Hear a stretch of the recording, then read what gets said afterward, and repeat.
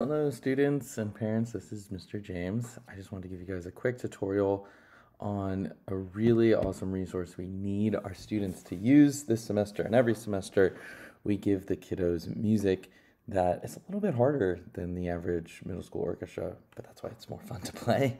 But it requires a lot of practice. So not just what we practice, but how we practice. So you should have noticed in the lesson notes, this is the teacher side where we write our notes, that we have these links for MuseScore. This is so important for students. So what I'm going to do is I'm going to open one of these links and I'm going to show you how to use MuseScore.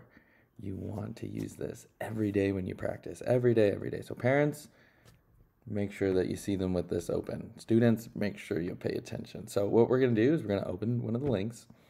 So this is our air on a G string. This one is a great one to take a look at too because it's so hard to count part of this is just learning the way our music sounds. I know a lot of you guys have trouble with 16th notes, and that's okay.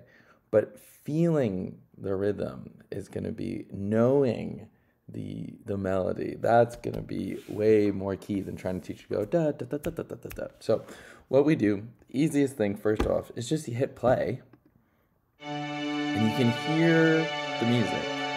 You can play along with your parts. let's say you're really struggling. You're like, okay, I know how to do this F sharp here, but it's bar number two. You can set a loop. you can loop bar number two. Da da da da da and then repeats. Ba da da da da da da you do that for as many or as few bars as you want.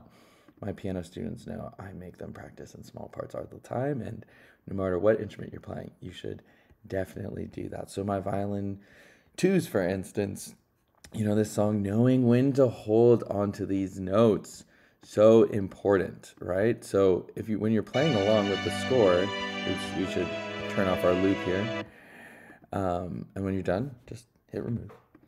Um, playing along and watching and listening to the other music in full score is so helpful because instead of just guessing where these chord notes, you hear the da da da da. Oh, and then I change. Right? Knowing how we fit in is very very important. If it's difficult, you can even slow it down with this. So let's say this is like 60%. Ooh, that is a slow quarter note. Usually the slowdown is better for faster pieces of music. This one's already really slow. It's just getting these rhythms in here and just knowing what these lines sound like. So using the repeat feature. If you want to solo individual lines, you can totally do that. So what you do is you click this little button here that says off. You go audio sources, we go to synthesizer, and now you can solo all these different instruments. So let's say we want my cellos my cello ones. They're like, man, I really want to hear these octave parts because cello ones in this piece, you have only the eighth notes. It's really important to keep that steady.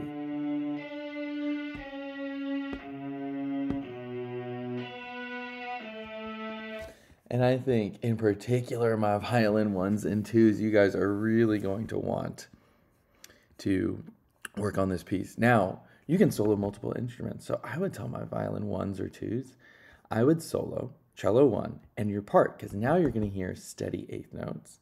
So let's say if we start, ooh, we can even use another feature here. Let's say we just want to loop bars two and three.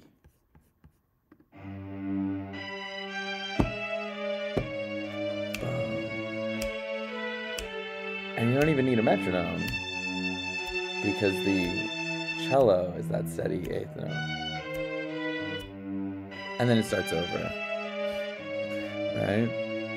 Okay, that's basically it. When you're ready to go back, you just hit MuseScore Audio. The sound is nicer. it's a little bit less MIDI. Um, you can even download this program. MuseScore is free. You can download it, and then you can download the file and play it with even more functionality. Um, however, that's all you need this for. Playing along, and at the very least, just starting here, hitting play, while making sure your loop is off. and just playing along with our music, listening to the music, playing with the music. Most important thing you can do. This is going to be an awesome semester, and I'm super excited for you guys.